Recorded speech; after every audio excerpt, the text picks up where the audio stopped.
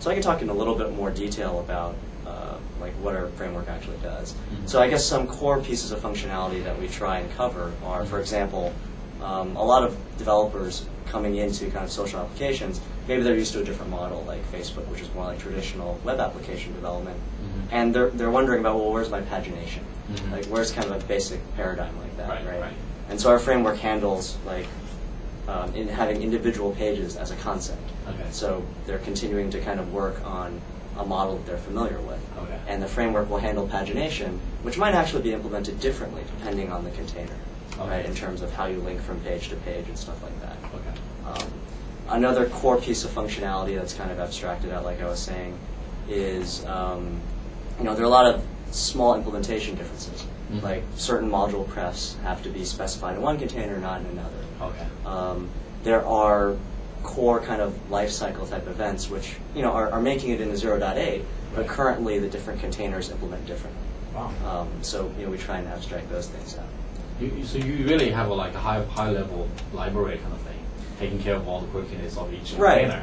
Exactly. So I mean, it's almost like on the, for the application gadget XMLs, Right. we have kind of what amounts to a simple code generation framework Right. to handle kind of those differences, right? Um, because what an application developer wants to focus on is that they want to focus on, you know, these are the key pieces of functionality for the app, right? You know, this is the page that I, I send a gift on.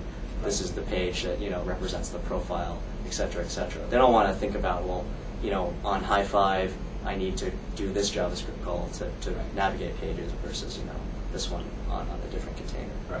Um, so that's one side of it. Um, the other side is on the server side, on the back end.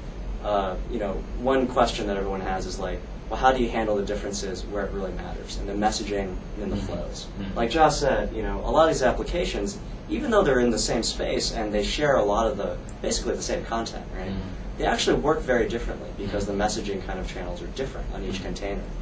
Um, in fact, it's different to the point where, you know, as you know, like on Orkut, for example, there's no REST API Right. for doing some of the messaging, whereas on hi5, um, that might be the best way to do things in many cases. And so what we've tried to do is actually construct a model of server-side events for most of, to control most of our flows in messaging. Um, so that allows us to, to keep, uh, you know, our gadget XML somewhat free of these types of decisions. And on the server side, we can generate these server-side events in like application code, which can then be processed by specific event processors that are appropriate for the container that the user is currently running on. So from an application developer, it actually, you know, um, that abstraction makes it much more conceptually simple. Like, you know, when I, say on Super Pets, I Mhm. pet someone's pet, that's Mhm. considered like a server-side event. Now, what happens because of that is going to differ a lot depending on which container I'm running on. And that might happen server-side, or it might even happen client-side, Okay. right? Because that event might trigger something to happen on the client side. So to your application developer, it's the same thing. Right. So for right in terms of developing the core framework, it's the same thing, Okay. and then they can focus on well, what happens on hi5? Right. Oh, well, what happens on you know MySpace or what happens on Orkut? And it's like a it's a separate abstraction. So Right, right.